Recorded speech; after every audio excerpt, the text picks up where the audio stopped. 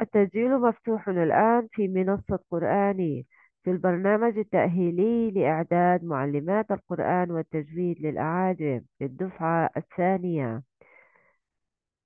برنامج تعليمي عن بعد. يشتمل على خمس كورسات مهمة للنجاح في تعليم الأعاجم. الكورس الأول وهو النورانية. الكورس الثاني وهو التجويد الأساسي.